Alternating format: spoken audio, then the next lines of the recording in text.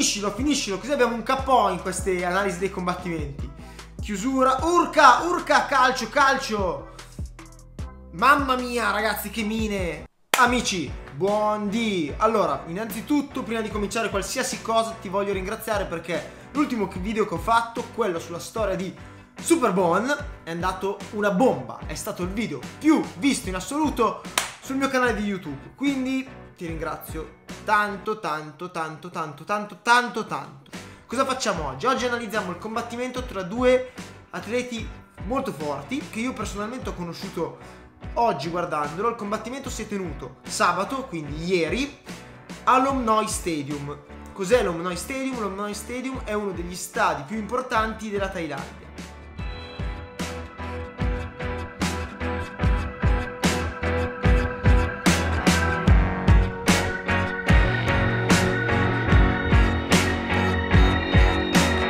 Ecco il Claudio del post editing. Allora ti do qualche dritta in più su questo stadio.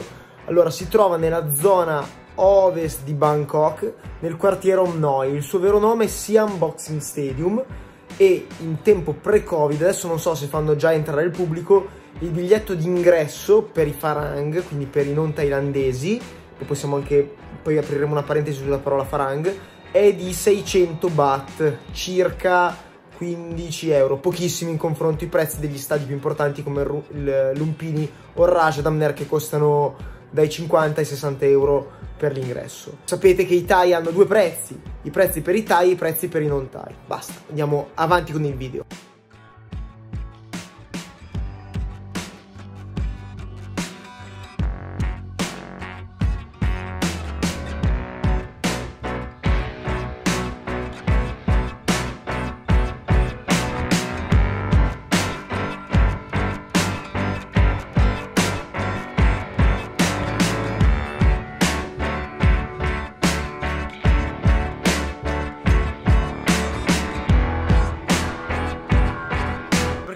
Questa cosa di analizzare i combattimenti per farvi conoscere degli atleti nuovi, farvi conoscere gli atleti che contano in Thailandia e tenervi aggiornati un po' su combattimenti importanti che ci sono in terra thailandese. I due combattenti che andiamo ad analizzare oggi si chiamano, per farvi capire quanto sono spanato e che, che difficoltà che ho con i nomi thailandesi, vi faccio vedere perché me lo sono dovuto scrivere nonostante, nonostante io studi la lingua Thai, mi devo scrivere i nomi perché sennò non mi vengono in mente.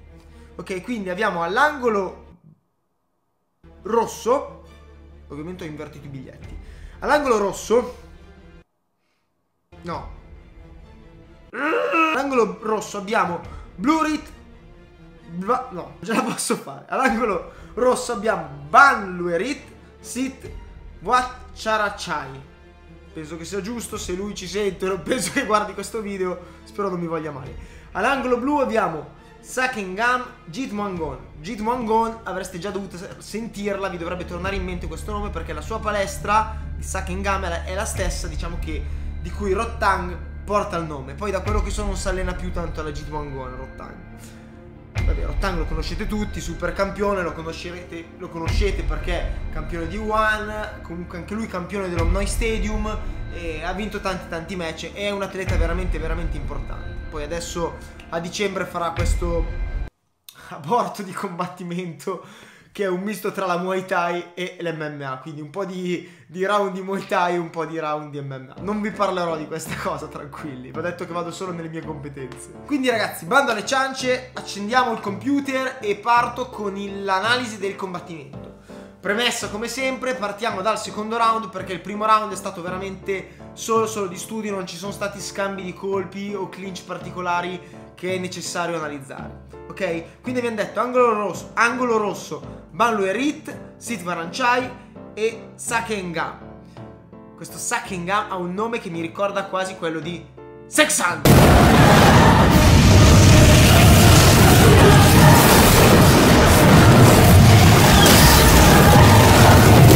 Insomma, un fighter dal nome tranquillo. Basta, promesso, non lo faccio più per questo video, forse. Però sapete, il nome di quel nome, quel nome che ho appena detto, è un nome esplosivo. Ogni volta che lo dico succede così, quindi... Sex! Basta, cominciamo. Ok, abbiamo L'angolo rosso che sicuramente è più propositivo, controlla l'avversario con i frontali, l'angolo blu attacca, a distanza subito pressante, Ang tip di angolo rosso. Dico angolo rosso, angolo blu ragazzi perché faccio fatica se no. Fase quasi di studio, ok, angolo rosso chiude con una gomitata, fase di clinch attiva, oh, l'arbitro divide, non chiedetemi perché, pronti via di nuovo. Possiamo subito notare che l'angolo rosso Banlu Erit è mancino e l'angolo blu Sakengam è con la guardia ortodossa. Fase di studio, l'angolo rosso cerca di imporre il suo angolo dominante, vedete cerca sempre di uscire a destra, il lavoro che un buon mancino dovrebbe fare, su scambio di frontali. Oh, low kick tremendo di Banlu Erit che piega la gamba de, de, dell'angolo blu ancora insiste, l'angolo blu prova a rispondere un po' coi pugni, ma niente di che. La gamba è già segnata, è già segnata subito al secondo round. Balluerit di nuovo calcio basso, si protegge. L'angolo blu chiude coi pugni, ma il calcio basso, il calcio medio di Balluerit manda bersaglio e infieriscono. L'angolo blu ha una strategia di chiusura sui pugni per far sì che l'altro non chiuda con le gambe, ma non sta funzionando molto. Altro low kick e calcio medio dell'angolo rosso che manda bersaglio, ragazzi è già, è già in dominio l'angolo rosso. È già in dominio l'angolo rosso. Altro low kick dell'angolo rosso. Blu chiude coi pugni. Il blu chiude coi pugni. Ta ta ta ta ta ta. Ora il rosso partirà, guardate, eh. Ta ta. Vai, diretto del rosso, chiusura di low kick che manda totalmente in crisi l'altro. Pugni dell'angolo blu che però ha movimenti limitati da dai colpi alle gambe. Lo vedo male, lo vedo male l'angolo blu. Ta ta. Balverit tiene il ring, tiene il ring Bangluerit, che è l'angolo rosso. Cerca di chiudere, frontale, fase molto di studio. Un, un secondo round non particolarmente attivo. Evita i colpi, l'angolo rosso, l'angolo blu cerca di chiudere quanto è scuro l'angolo blu. Sembra quasi Buacao quando... Urca! Diretto dell'angolo rosso. È alle corde l'angolo blu. L'angolo rosso ovviamente sta cercando di chiudere per infierire con le gambe, dato che ha visto che l'angolo rosso le soffre parecchio. Urca. Urca, urca. Ora Ora, ora, attacca l'angolo rosso, che ha sempre l'angolo dominante. Guardate, sempre il piede fuori dalla guardia dell'avversario. Fine primo round. Fermo un attimo e facciamo una piccola analisi. Allora, possiamo subito notare, qui trema tutto perché ho messo il cellulare sopra una scatola che me lo tiene alto. Sono messo alle pezze, ragazzi, oggi. Allora, abbiamo detto, notiamo subito che l'angolo rosso sta imponendo il suo carattere, il suo modo di combattere. Vediamo che è mancino, L'angolo blu è distorso. Qual è un ottimo modo per un mancino di imporre il proprio carattere, imporre il proprio modo di combattere? È quello di tenere l'angolo dominante. Cosa vuol dire tenere l'angolo dominante? Vuol dire mettere il piede destro da mancino fuori alla guardia del proprio avversario. Da lì cosa succede? Succede che tutti i colpi forti del mancino hanno la traiettoria corretta e la distanza giusta per arrivare all'avversario. Sono dritti rispetto all'avversario. È proprio quello che sta facendo l'angolo rosso. Qual è la strategia che sta adottando l'angolo rosso? La strategia adottata dall'angolo rosso è quella di fare un po' di casino con le mani, accorciare e chiudere con le gambe. Perché? Perché l'angolo blu sta soffrendo parecchio i calci bassi dell'angolo rosso. Avete visto che ha piegato le gambe, si è scomposto, ha avuto dei comportamenti che eh, fanno prendere molti molti punti all'angolo rosso. Ecco, quando combattete, se vi capita di combattere in un match di Muay Thai, l'atteggiamento è molto importante. L'atteggiamento è quasi più importante del punteggio, perché se tu porti dei calci, magari porti 50 calci, ma non fanno niente all'avversario, non, non lo scompongono, l'avversario anzi a carattere va avanti, può essere che sale l'altro, ok? Quando invece porti un calcio medio, magari ne porti uno, ma sposti di un metro l'avversario, lì il calcio fa veramente effetto e veramente punteggio. Andiamo avanti. Terzo round qui si, si partirà già col, col fuoco, mi sa. Terzo round, fase di clinch. Si parte con un clinch attivo dove si scambia le ginocchiate. Ginocchiate alle coscia. E dicevo, fase di clinch. L'arbitro divide perché è un po' inattiva. Angolo blu cerca di chiudere la distanza subito. Io userei una strategia diversa dell'angolo blu che dopo vi spiego tra un round e l'altro. Clinch. Gomitata dell'angolo rosso. Fase di clinch abbastanza inattiva, secondo me, qualche ginocchiata, ma niente di interessante. Fa bene a dividere l'arbitro in questo caso. Tip dell'angolo rosso che ferma l'avanzata dell'angolo blu. L'angolo blu sta cercando di chiudere la distanza. Gancio dell'angolo blu che però va a vuoto. L'angolo blu chiude, sono di nuovo in clinch. La strategia dell'angolo blu è quella di chiudere la distanza per impedire all'avversario di utilizzare i calci. Probabilmente la gamba dell'angolo blu, del nostro mini Buaccao, è totalmente sofferente. Vedete che cerca sempre di andare in clinch. Gomitata dell'angolo rosso. Bravo anche nell'angolo rosso nel clinch. L'angolo blu va a terra e viene contato. È praticamente KO l'angolo blu. Dura niente sto video, cavoli. Non posso, non posso già farla finita. Ok, viene contato. Boh, rincomincia. Adesso l'angolo rosso deve andare alla carica. Deve andare alla carica. E invece l'angolo blu che va alla carica. Bravo perché se fa partire l'angolo rosso è fottuto. Però i calci dell'angolo rosso vanno a bersaglio. Fronta Urca viene ancora piegato in due l'angolo blu.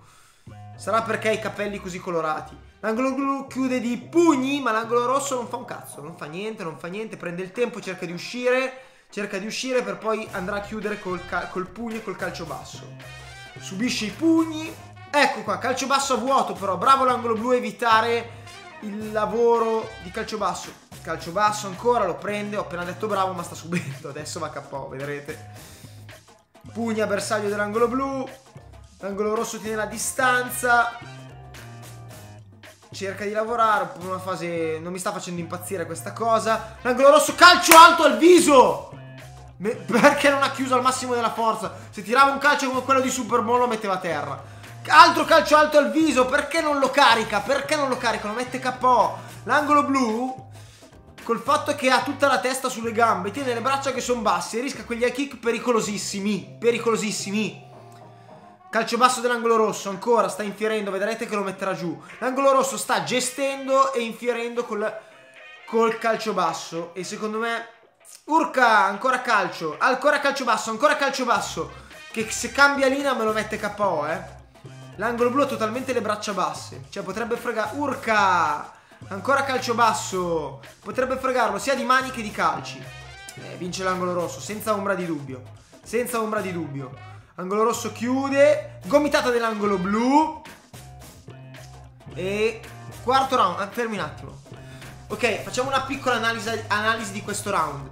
Quali sono state le due strategie adottate? La strategia adottata dall'angolo blu è stata quella di chiudere in clinch, chiudere la distanza. Perché questa cosa? Perché probabilmente senza probabilmente ha molto dolore alle gambe perché i calci dell'angolo rosso gli hanno fatto un danno secondo me assurdo perché ogni volta che prende un calcio basso barcolla, muove le braccia, si scompone. Fa proprio quell'atteggiamento di cui vi spiegavo prima che non bisogna fare quando si combatte. E quindi cosa fa? Cerca di chiudere in clinch per non lasciare la distanza all'angolo rosso di chiudere con i calci bassi. D'altro canto, l'angolo rosso che cosa fa? L'angolo rosso eh, gestisce, cerca di, se, di non farsi chiudere sempre la distanza e quando può infierisce con i calci bassi e ogni calcio basso dell'angolo rosso è una vera sofferenza per l'angolo blu. Invece nella fase di clinch come si comportano? Si comportano che io vedo più attivo più, più efficace l'angolo rosso rispetto all'angolo blu che è più attivo nel clinch perché entra, prova a muovere le braccia, porta le ginocchiate però l'angolo rosso mette meno colpi ma ogni colpo che mette va a bersaglio come ad esempio le gomitate. Va bene. Yotti Yotti sì. Round 4 andiamo avanti. Questo secondo me sarà il round definitivo secondo me non arrivano al quinto round Subito fase di clinch, l'angolo blu ha subito chiuso, gestisce, porta qualche ginocchiata. lo schermo ballerà tutto il tempo perché non, il cellulare l'ho messo veramente male. L'angolo blu chiude, prova con un diretto ma fuori misura. L'angolo rosso gestisce, calcio alto dell'angolo rosso. Calcio basso dell'angolo rosso che piega ancora le gambe all'avversario. L'angolo blu è stato pure contato, quindi in netto svantaggio. Braccia basse dell'angolo blu. L'angolo rosso chiude ancora calcio basso. Io chiuderei col calcio alto perché ha le braccia sullo stomaco. L'angolo blu, l'angolo rosso evita, esce, l'angolo rosso non vuole farsi chiudere la distanza. Frontale dell'angolo rosso, calcio alto, bravo, anch'io avrei fatto così. Esce lateralmente, gestisce, l'angolo blu cerca di chiudere. L'angolo rosso si chiude e subisce i pugni dell'angolo blu, del nostro mini Boccao, eh, ma chiude ancora con i calci bassi. Ogni calcio basso è una vera vargata per angolo blu. Gestione, gestione dell'angolo rosso. L'angolo blu cerca di chiudere, ma niente. L'angolo blu cerca sempre di, mandare, di andare nel clinch. Oh, oh, oh, oh, oh. l'angolo rosso non sta facendo nulla. Calcio basso che va fuori misura, ma l'angolo blu soffre. Eh, sta proprio soffrendo l'angolo blu, si vede che, che, è una sofferenza unica. Gestione, gestione, calcio alto dell'angolo rosso ancora sul viso. Non capisco come tira i calci alti sto angolo rosso, cioè sono entrati sul viso quattro calci alti e non l'ha messo ancora KO. Li tira probabilmente male secondo me, sbaglia qualcosa. Gestisce, tanto lo metterà giù con i calci bassi. Però l'angolo blu sta chiudendo, sta facendo un buon lavoro, eh? sta cercando di, di non subire calcio alla gamba, quindi chiude di mano. Peccato che ha delle mani che sono pessime. Calcio basso dell'angolo rosso. Dai, dai, dai, finiscilo, finiscilo. Così abbiamo un KO in queste analisi dei combattimenti. Chiusura. Urca, urca, calcio, calcio. Mamma mia, ragazzi, che mine. L'angolo rosso sta gestendo discretamente bene. Secondo me potrebbe fare meglio. Avrebbe già potuto finire questo match da un pezzo, a mio dire. Pugni dell'angolo blu e secondo me sta anche prendendo dei colpi che non dovrebbe prendere l'angolo rosso. Tuttavia è in vantaggio. L'angolo blu va avanti, sta mostrando un ottimo atteggiamento, un atteggiamento che in questo caso agli arbitri, ai giudici piace perché sta andando avanti, sta cercando di far vedere che ce n'è ancora. Gomito dell'angolo blu, chiusura in clinch dell'angolo rosso, divisione dell'arbitro perché il clinch è totalmente inattivo. Quando il clinch è inattivo ci si viene divisi. Oh oh oh, l'angolo rosso indietregge e rimette con i low kick che infieriscono. Basta, mi sa che... Mi sa che... Mi sa che il match è finito, ragazzi. Io credo che... Sì, sì, basta, basta, basta, basta. Non... L'arbitro sospende il match perché l'angolo blu, nonostante andasse avanti in continuazione, l'arbitro decide di, di sospendere il match per preservare la salute del combattente. È giusto che sia così, secondo me, perché gli arbitri devono... Ragazzi, gli arbitri devono preservare la salute del combattente. Riapro la parentesi Petrosian Superbone.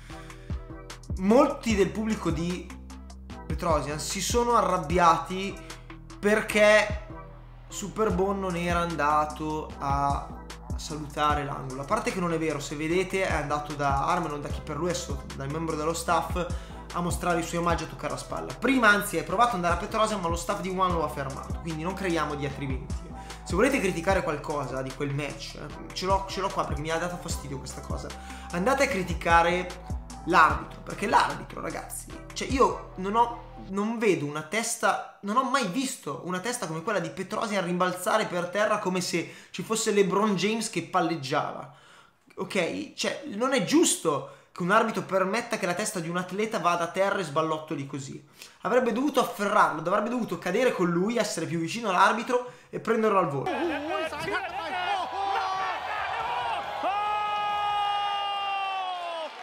Avrebbe dovuto fare, come fa in questo caso, l'arbitro di questo match. Noi Stadium uno degli stadi migliori. E cosa ha fatto? Ha, ha sospeso il match. Ha visto che l'angolo blu voleva andare avanti lo stesso, però l'arbitro ha capito che ha capito che poteva riportare dei danni e quindi ha fermato il match. Qui bisogna porsi degli interrogativi, ragazzi. Qual è la politica di One? Qual è la politica eh, di un'organizzazione? Quella di tutelare l'atleta e fare del buono sport? O è solo quella di fare dello show, di, fare del, di promuovere della schifezza, del promuovere dell'hype? Perché, parliamoci chiaro, vedere un atleta come Petrosian che cade per terra e vedi la testa che sballottola, secondo me non si può vedere. Però a livello di hype, a livello di interazione fa più show. Fa più show, c'è poco da fare. Eh, vedere uno che cade, l'arbitro gli prende la testa al volo, non, magari non fa tanto show. Ok, il KO è meno... è meno... è, meno irruento. Poi io non credo che eh, l'arbitro, mi sembra che fosse Olivier Costa, adesso non, non mi ricordo, non vorrei dire cazzate. Eh, non credo che l'arbitro non abbia voluto prendere la testa di Petrosia. Era troppo lontano, cioè non si può stare a quella distanza durante un combattimento. Andate a vedere i match dei thailandesi, gli arbitri sono appressi al combattente. Quando l'atleta la, cade per KO, raramente in Thailandia io ho visto la testa sballottolare. Mi è capitato spesso di vedere che l'arbitro prende al volo la testa del, del, dell'atleta che cade. Mi è capitato spesso di vedere un arbitro che riesce a bloccare con un calcio frontale il calcio, il calcio dell'attaccante mentre l'avversario cade. Cioè gli arbitri devono stare attaccati, gli arbitri devono essere preparati. Mi è capitato anche spesso vedere arbitri che prendono colpi che dovrebbero prendere gli altri atleti pur di tutelare l'avversario, pur di, pur di tutelare l'atleta che c'è sul ring. Quindi poniamoci una domanda, anzi scrivetemi il vostro pensiero per favore nei commenti su questa cosa. C'è l'arbitro, l'evento anzi, deve tutelare l'atleta o deve promuovere solo lo show? Qual è il limite? Qual è il limite? Il limite è lo show o il limite è la salute dell'atleta? Qual è il limite, ragazzi? Scrivetemelo per favore, voglio sapere il vostro pensiero. Secondo voi il limite è quello di fare più soldi, quindi di raggiungere più persone, o il limite deve essere la salute del combattente? Questi sono, sono argomenti e domande importanti che bisogna porsi, secondo me, per andare avanti in queste discipline, per promuovere correttamente queste discipline. Ragazzi, io spero che questo combattimento vi sia piaciuto. Spero settimana prossima di portarvi altri combattimenti interessanti o comunque di affrontare altri argomenti interessanti sul mondo della Muay Thai. Basta, vi saluto e ci vediamo nel prossimo video. Ciao! Mi state chiedendo in migliaia, ve lo assicuro, ho ricevuto decine, decine, decine, decine di messaggi di voi che vogliono vorreste che analizzassi il combattimento tra Superbone e Giorgio Petrosia. Ragazzi, non lo analizzo. Perché non lo voglio analizzare? Perché non è il mio sport. Lo ripeto sempre, la K1 non è il mio sport. Non sono uno di quegli youtuber, a parte che non sono uno youtuber, non sono uno di quei personaggi, chiamiamoci così, youtuber, influencer, non sono influencer neanche. Vabbè, comunque mi fanno schifo questi termini. Non sono uno di quelli che per avere più like, per avere più view segue il trend. Quindi oggi parla di Tyson Fury, domani parla di Giorgio Petrosian, dopodomani parla di McGregor che picchia pacchinetti, eccetera, eccetera. Io non sono questo. Io parlo solo ed esclusivamente di Muay Thai. Infatti, c'è stato il video di Superbomb perché ho voluto dare il mio taglio, la mia visione della cosa. Quindi ho parlato di Muay Thai, di Superbone, del Superbone, atleta di Muay Thai, fino a che ha iniziato a combattere nella kickboxing. Punto. La mia competenza si fa, ferma lì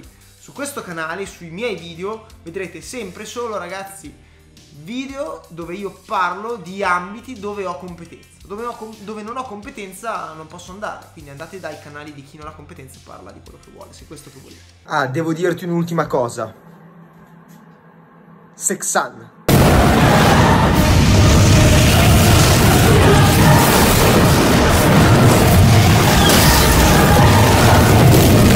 Ecco, grazie per aver visto il video e ora clicca tutti i pulsanti che vedi.